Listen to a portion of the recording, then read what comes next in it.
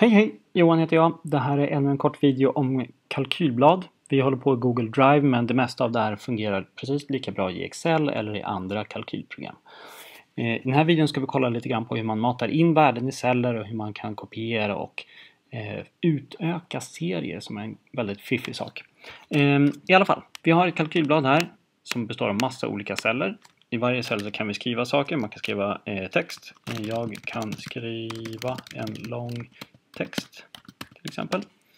Och märker att som standard blir den här radbruten eh, så att vi får en, en hög rad här. Om man tycker att det är jobbigt så kan vi använda den här knappen här uppe som tar bort radbrytning och så kanske vi vill göra den här kolumnen bredare kan man ta tag och göra den här bredbar. Man kan också dubbelklicka på kolumnkanten så justeras den till lagom bredd. Om man skulle vilja det. Eh, ganska ofta så skriver man in siffror och tal i kalkylblad. Ehm, och det är inte så, dumt det heller. Ehm, man kan klicka och dra för att markera många celler på en gång på det här viset. Det fungerar även med kolumner. Klicka och dra här så markerar man flera stycken. Och rader. Klicka och dra. Det är ganska lätt att man hamnar på de här ställena där man justerar höjden på kolumner. Man klickar och drar. Ja, och då går det inte att markera. Då kan man ångra om man tycker att det blir fel. Så. Eh, man kan ta ett område som man har markerat eh, eller en cell i taget och så kan man kopiera. Då kan du antingen högerklicka eh, och välja kopiera eller så kan du bara ta eh, Ctrl C eller kringla C.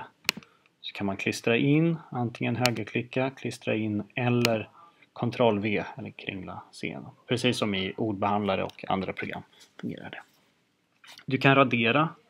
Det gör du på en Mac med Backspace och med Delete på en Windows-maskin. Ehm, sådär. Ehm, vi ska se, jo, utöka serier. Ganska ofta så vill man göra långa listor med grejer. Man håller på med scheman eller något sånt där.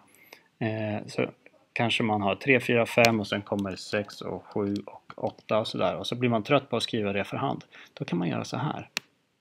Att man markerar en serie som man har gjort i ordning. Sen tar man tag i lilla eh, rutan där nere, fyrkanten, och sen så drar man ner.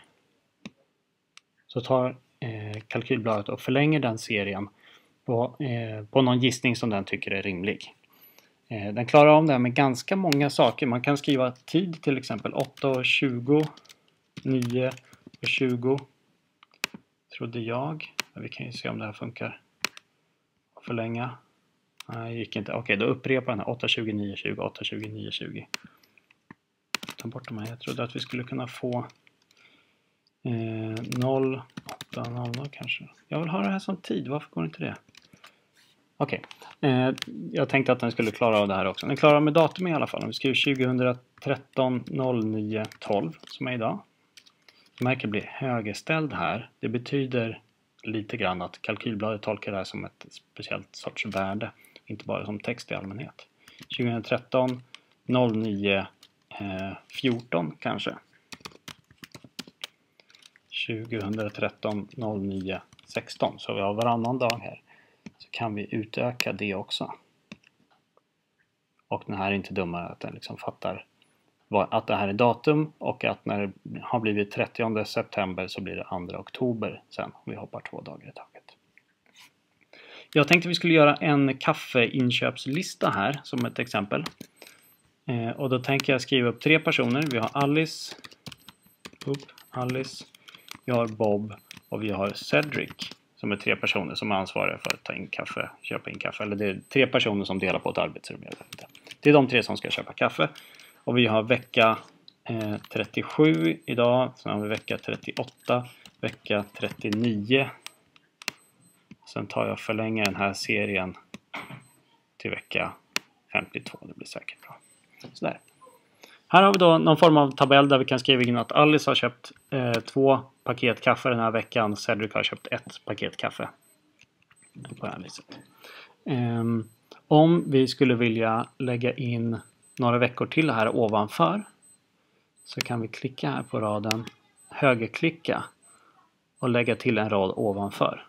Vill vi lägga till fler rader på en gång så är det lättaste sättet att markera sig fem rader här. Högerklicka och lägga till fem rader ovan. Undrar om man kan förlänga uppåt. Det går! Ah, vad roligt! Eh, på samma sätt så kan vi här, om vi vill lägga in en till person mellan Alice och Bob, så kan vi högerklicka på kolumnen lägga till en ny kolumn där. Eh, och vi kan ta bort också. Ta bort kolumnen. Det dyker upp en liten sån här menygrej här också som är precis samma sak som om du högerklickar. Så, det var det tror jag. Jag ska ta fram min fusklapp här för att se vad jag hittar. Whoopie här. Eh, ja, det var typ det som jag tänkte eh, göra nu tror jag. Jajamän, stämmer. Ehm, eh, så, så vi ses i nästa video. Eh, hej så länge!